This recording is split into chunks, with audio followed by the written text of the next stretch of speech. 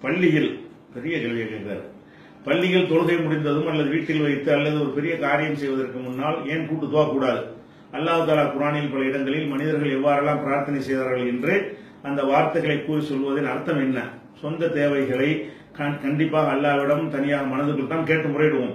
அதற்கு யாருடைய வழிகாட்டும் தேவையில்லை. ஒரு பொதுவான விஷயம் தொழில் தொடங்க திருமணம் சமுதாய நலன் ஆபத்தான நேரம் போன்றவற்றிற்கு கூட்டுதுவா பண்ணலாம் தானே? ஏனென்றால் நிறைய மக்களுக்கு துவா கேட்கும் அந்த ஒழுங்கு தெரியாமல் இருக்கலாம். அல்லது என்னவெல்லாம் அல்லாவிடம் கேட்கலாம் கேட்கக்கூடாது என்பது கூட தெரியாமல் இருக்கலாம். நம்மூரில் அனைவரும் குரான் ஓதியவர்கள் கிடையாது. குரான் சுண்ணாவை தெரிந்தவர்கள் அதன் அடிப்படை துவா கேட்டு மற்றவர்கள் ஆமீன் சொல்வதனால் என்ன தவறு உள்ளது? இப்படி செய்வது பாவமா? அப்படின்னு கேட்கிறாரு. நம்பரு வெளிநாட்டு சவுதி நம்பர் மாதிரி தெரியுது. அப்ப என்ன கேட்கிறாருன்னா பொதுவான தனித்தனியான தேவைகளை விளங்கியிருக்காரு. தனித்தனியான தேவைகளை நம்ம நம்ம கேட்டுக்கிடுவோம். பொதுவா ஒரு மழை வெள்ளம் வருது இறைவா அந்த வெள்ளத்திலிருந்து காப்பாத்துன்னு கேட்க வேண்டியிருக்கு. அனைவருக்கும் உள்ளது. இதை கூட்டா கேட்டா என்ன?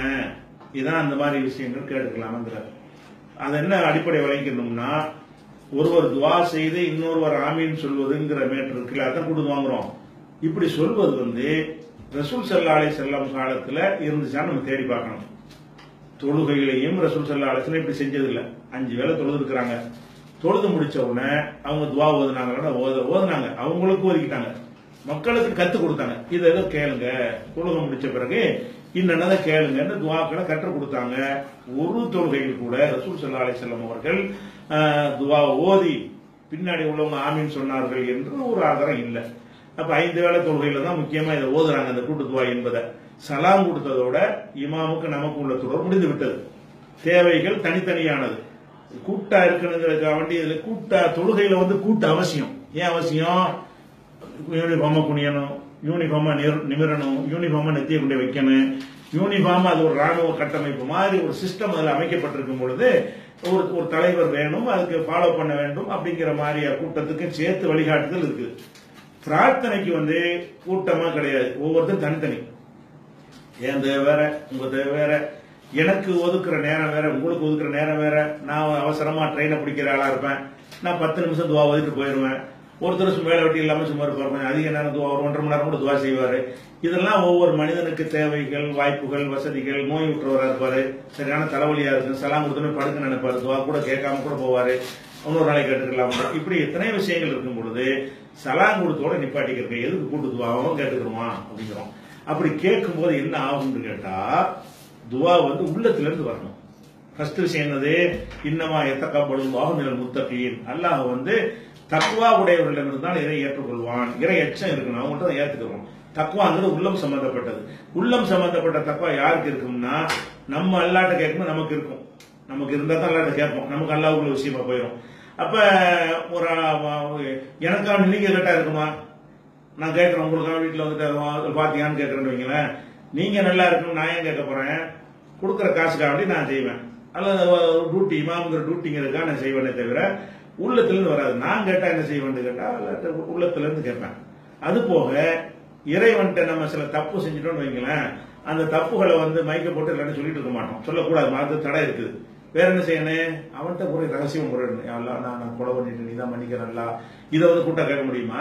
எல்லாரும் ஆமின்னு சொல்ல முடியுமாண்ணா நான் என் இறைவன்கிட்ட எந்த தப்பையும் சொல்லுவேன் அவன் என்னை மன்னிப்பான். எனக்கு அவனுக்குள்ள ஒரு விஷயம். அப்ப கூட்டாக இதை கேட்கல என்ன செய்யணும்னா ஒரு பப்ளிக் பண்ண வேண்டிய அவசியம் வருது. அதை பிரகடனப்படுத்த வேண்டிய ஒரு ஒரு நிர்பந்தம் ஏற்படுது. அது அது அந்த ஒரு வகையிலே அது தப்பாயிடுது அப்படிங்கிறதுனால. அது போக ரசூசல்லா அலிசல்லாம் வந்து பொதுவான பிரச்சனைங்கிறீங்க அது மாதிரி பொதுவான பிரச்சனை வந்து நமக்கு மட்டும் உள்ளதா? ரசூல்லா காலத்துல தானே இருந்திருக்கும். அப்ப எந்த ஒரு பொதுவான பிரச்சனை கூட்டா செய்யுங்க ரசூல்லா வழிகாட்டினாங்களா? இல்ல. அவங்க நமக்கு என்ன செய்யப்பட்டிருக்குன்னா உதுவும் ரப்பக்கும். குரானுடைய கட்டளை. உங்கள் இறைவன்ட்டு துவா செய்யுங்கள். துவாவுக்கு தான் அல்ல சொல்றான். இறைவன்ட்டனா துவா செய்ய போறீங்க? இறைவன்ட்ட துவா செய்யறாங்க இறைவன் சொல்றபடி தானே செய்யணும் அப்ப எந்த இறைவன்ட்ட கேட்க போறீங்களோ அந்த இறைவன் உங்களுக்கு என்ன சொல்றான்னு கேட்டா உதுவும் அப்பக்கும். உங்கள் இறைவன்ட்ட துவா செய்யுங்கள். தளர்வாம் ஒப்பியா பணிவாகவும் ரகசியமாகவும் செய்யுங்கள். பணிவா செய்யணும் ரகசியமா செய்யணும். அப்ப ரகசியமா செய்யுங்க அடக்க ஒடுக்கமா செய்யுங்க. அப்ப அல்லா இடத்துல கேட்கும்போது அடக்க ஒடுக்கமா பணிவா செய்யுங்கன்னு நல்லா ஆர்டர் பண்ணும்போது நீங்க கத்துனீங்கன்னா அது இப்படி ப- பணிவா பணிவாளர் வருமா? ரகசியமா தானே பண்ணணும். அது போக நீங்க பள்ளியாசல் நீங்க பார்க்கலாம். நாங்கெல்லாம் வந்து அந்த கூட்டு துவா ஓதுன காலத்துல இருந்தான். இவன் இமாம் துவா ஓதுவாரா? அவன் தூங்கல சாஞ்சிக்கிட்டு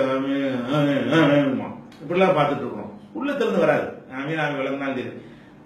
அவர் திட்டி நான் எல்லாம் அந்த ஒரு நாசமாக்குன்னு கேட்டாலும் ஆமீன் சொல்லுவாங்க. ஒன்றும் விளங்காது.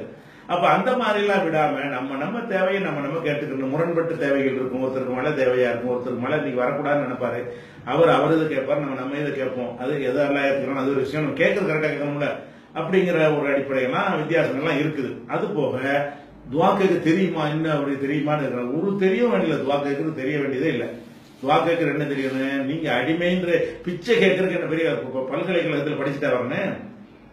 பிச்சை தானே துவாங்குறது என்னது ஒரு பிச்சை. நான் எனக்கு பசியா இருக்கிற பிச்சை கேட்க தெரியாது. எனக்கா யாராவது கேட்டுதாங்கன்னா என்ன அர்த்தம்? அம்மா பசிக்குது தாயை பசிக்குது. நம்ம உணர்வு வெளிப்படுத்தா இப்ப சோத்த போட போறாங்க. அப்ப நம்ம பிச்சை கேட்கிற ஒரு நிலையில் தான் படைச்ச ரபுராலம் என்று நம்ம கேட்கிற பிச்சை தானே துவாங்கிறது. இறைவான்னு கேட்கிறோம். அந்த இறைவனுடைய வல்லமை மனசுல இருந்துச்சுன்னு சொன்னா அவனை உயர்வாகவும் நம்மளை தாழ்வாகவும் வைத்துக் கொண்டு என்ன வேணாலும் கேளுங்க. அதான் அதுக்கு என்ன பெரிய படிப்பு அதுக்குன்னு தனியா இருக்குது. இவங்க படிச்சவர்கள்ட்ட இருக்கிறத கூட அது இல்லையா. அடுக்கு முடியல அலாட்ட கேட்கறாங்களே பிச்சை கேட்கும் அடுக்கு முடியல பிச்சை போடுவானா? அடுக்கு முடியல நூல்ல முடிஞ்சா நூல்ல முடியணும் வாவல முடிஞ்சா வாவல முடியணும்னு இப்படி ஒரு வசனங்களை உண்டாக்கி கொண்டு துவா செய்யறாங்களே அவன் படிச்சவனுக்கு தான் அந்த துவா கேட்கறது தெரியல. படிக்காம ஒழுங்கா தெரியுது. சாதாரண பாஷையில கேளுங்க என்ன தனியா அதுக்கு என்ன படிப்பு இருக்குது? உங்களை படைச்ச இறைவன் ஹராமாக்கின விஷயம் உங்களுக்கு தெரியாது விட்டுருங்க. மத்தது கேளுங்க. இறைவா எனக்கு வந்து அவங்க வீட்டு எனக்கு தந்துற பிடிங்கி தந்துன்னு கேட்டுறாதீங்க. இறைவா நான் வட்டி வாங்க போனேன் இல்ல பறக்கச்சின்னு கேட்டுறாதீங்க. இறைவா நான் விபச்சாரம் பண்ண போறேன் யாருக்கும் தெரியாம என்னை பாதுகாத்துன்னு கேட்டுறாதீங்க. இறைவா நான் திருட போறேன் திருட்டுக்கு நீ தான் துணை செய்யணும்னு கேட்டுறாதீங்க. இறைவா சாராயம் குடிக்க போறேன் நீ தான் இதுல வந்து பறக்கச்சின்னு கேட்டு அதெல்லாம் தெரிய தானே செய்யும். நல்லா எதையை ஹரா ஹராமாக்கி அதை கேட்காதீங்க. எதை ஹராமாக்கல அது பொறுத்தையும் கேளுங்க. எல்லாம் நமக்கு உள்ளதுன்னா தானே. பெரிய படிப்புலாம் ஒன்றும் கிடையாது. அதனால துவா என்பது வந்து எந்த கட்டத்திலையும் கூட்டா செய்வது உள்ளத்திலிருந்து போயிடும் இப்படியே ஆக்கி ஆக்கி தான் அல்லாட்ட கேட்க முடியாது. நமக்கு அவளியாட்ட போய் கேட்போம்னு அனுப்பி விட்டீங்க. அங்கே அங்க போய் அவன் தன்னால தான் கேட்டுக்கிறான். அப்ப அண்ணாட்ட கேட்க முடியாது முடியாதுன்னு ஒரு விதைச்சதுதான் இறைவனை விட்டு மக்கள் திசை திரும்பி போனதுக்கு முக்கிய காரணமா போச்சு. அதனால எந்த காரணத்தினாலையும் தவறுதான். அல்லாவுடைய ரசூலுடைய தேவைன்னு சொல்லியிருப்பாங்க. நம்ம எப்படி பார்க்கணும்? இந்த மார்க்கத்தை அல்லாஹ் வந்து முழுமையாக்கி தந்துட்டான்.